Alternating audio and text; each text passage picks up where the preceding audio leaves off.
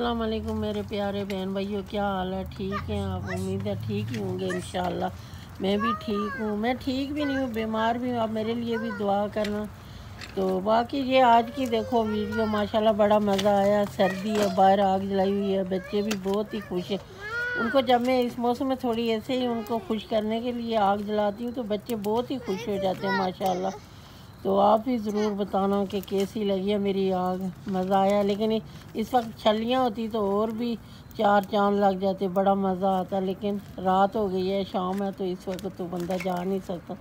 लेकिन बहुत ही मज़ा आया, माशाल्लाह। ये आज है मेरी बेटी ने, उसने भी एक डिश ऐसे ही बनाई थी तो वो, उसने भी मुझे चिकन डाला हुआ है और चावल और नूडल्स डाले हुए हैं।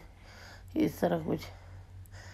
तो मज़े का था वैसे, जायका बहुत अच्छा था। थोड़ी सी मसाले तो कम ही बच्चे खाते हैं, इसलिए हम लोग मसाले कम ही डालते हैं, लेकिन मज़े की बनी हुई थी डिश।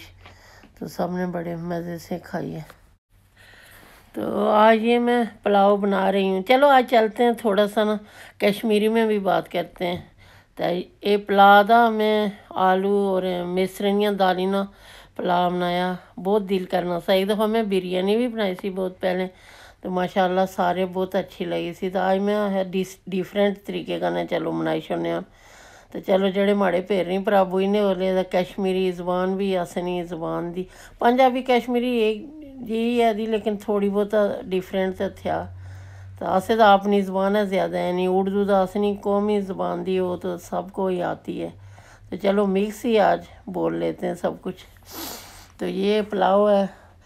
तो देखने में भी अच्छा है और खाने में, माशाल्लाह, बहुत ही अच्छा है, बहुत मज़ा आया खाने में भी।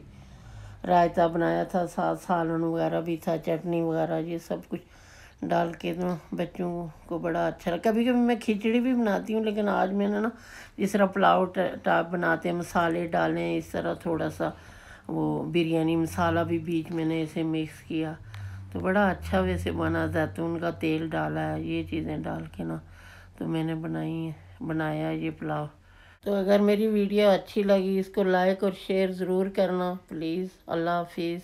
मिलते हैं कई नई वीडियो के साथ।